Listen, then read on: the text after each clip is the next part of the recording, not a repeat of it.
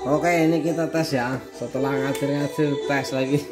Aduh bikin kesel juga nih mesin udah kan empat kali nih lima kali totalnya. Aduh. oke ya. Ini sudah. Kita frame kecil coba. Oke. Kalibrasi ya ini copot ya oke. Nah frame besar lagi ya. Kita coba. Ya tulisan mau apa tuh sebenarnya sama aja sih sama aja lah. Mau tulisan mau apa sini ceritanya sudah oke okay banget. Nanti lihat sendiri saya kasih bawah dah ininya apa bekasnya. Oh di sini nggak ada ya? Loh ah, ini aja kali ya tulisan ya tulisan situ yang buat buat buat, buat ya. Oke. Okay. oke okay, langsung aja kali ya. Cek area. Pakai cara ngacir gitu nyakitin empat tadi kayaknya bo bo bo bo bo boleh boleh ke bawah lagi.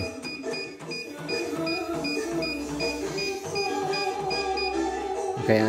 Segitu coba dia. Nabrak gak sih? Hug Krakad Oh boleh naik lagi. Masih lega di atas. Oke.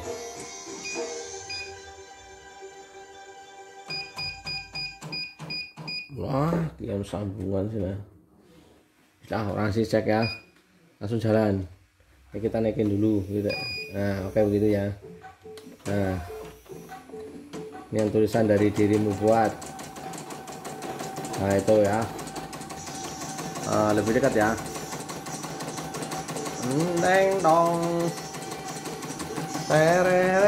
Ini jadi ganti semua ini. Ganti semua banyak semua ini ya.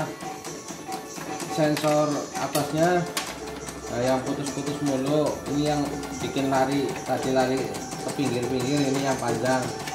Dan ini yang tidak mau di tag eh kembali informasi ini juga bilang ini ini totalnya tiga sensor. Sama satu frequency setnya puasa kuyuk. Kena minyak. Minyaknya jangan terlalu. Wan Solo Pankreasi Mudolan mucho más. Ya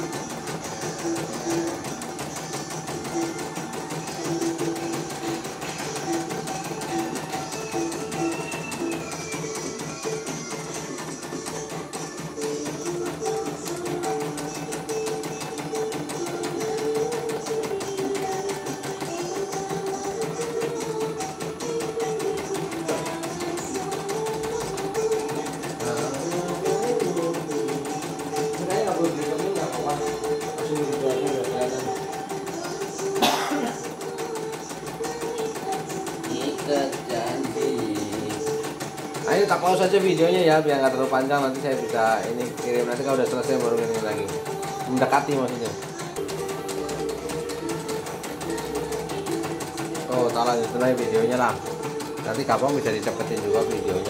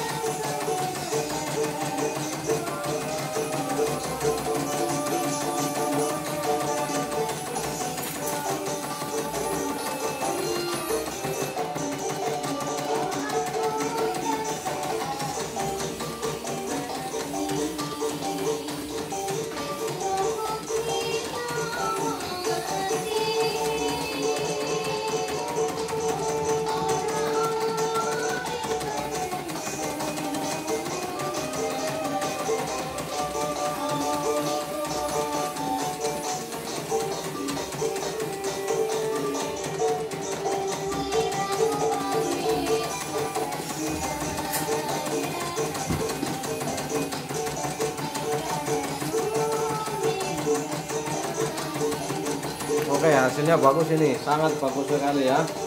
9 menit lah. 9 menit langsung tayang YouTube aja. Nanti kasih lihat sedia si bagian pojoknya saja. Saya ini orang tadi mau nanyain itu yang dari Palembang. Mas kalau sudah sampai kabarin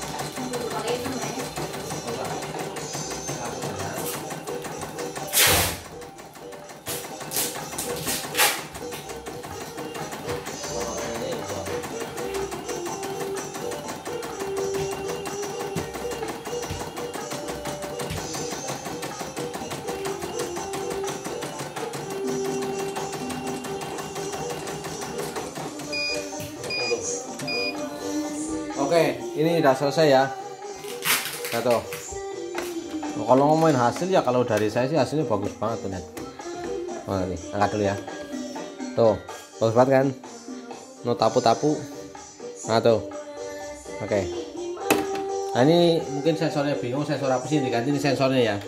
Sih sebenarnya mungkin bisa dipakai tapi kendor-kendor mulu jadi daripada saya juga repot nanti di sana juga bingungan saya ganti saja gitu karena nggak tahu kabel di mana putus di dalam atau apa itu yang susah kadang nyambung kadang tidak gitu. Jadi saya ambil keputusan diganti saja gitu. Toh saya yang terima duitnya ini jadi saya senang-senang aja. Ya, kalian pada nonton video saya pada ketawa gitu ya ya sudah fix ya. Ini nanti dikirim ini nah hasil tesnya ini. Nah kita tes lagi ya semoga ini nah guys nah semoga tidak ada kendala lagi ya nggak lari